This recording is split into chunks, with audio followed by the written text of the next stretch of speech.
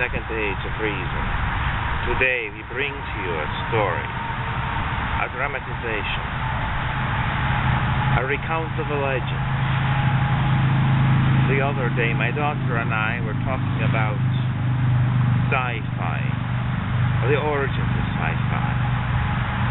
And popular sci-fi goes back to about the time of Edgar Allan Poe and Mary Shelley, where we have them as sci-fi fans in the genre as you could imagine it in the 1840s in America, in England. But one of the stories was you've heard of it, Frankenstein, the reanimation of um, a corpse or something.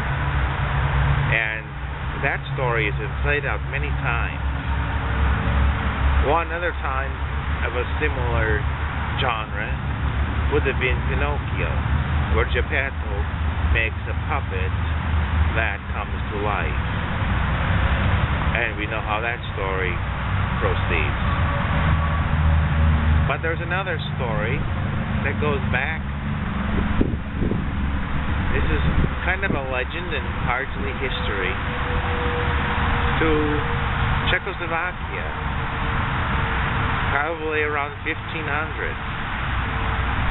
It's a story known as uh, the Golem.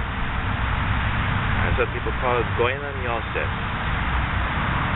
Because there was problems in Europe at that time. There were a couple of main religions, Christianity in the form of Catholicism. There was Judaism and Islam in Czechoslovakia, the Catholics were not too impressed with the Jews, and so there was sort of a, um,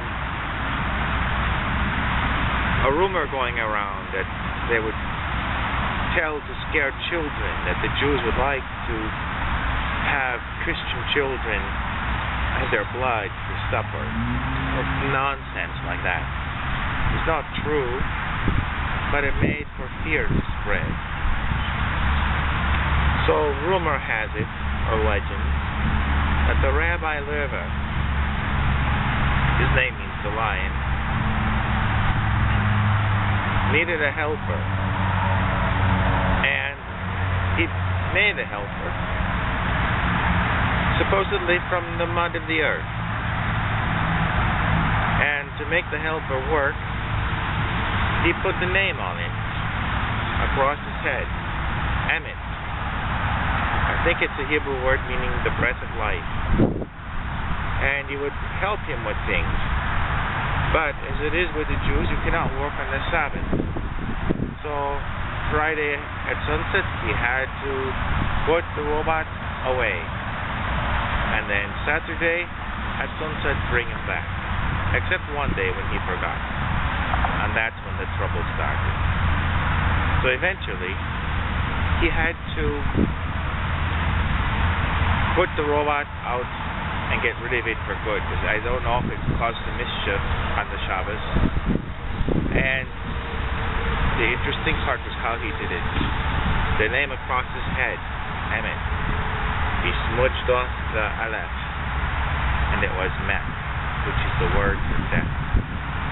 And then this golem fell into dust, and he was put into a crate the attic in the synagogue in Prague, Praha. And to this day, it's supposed to still be there. Nazis went up supposedly to look at it, and there's legends about that.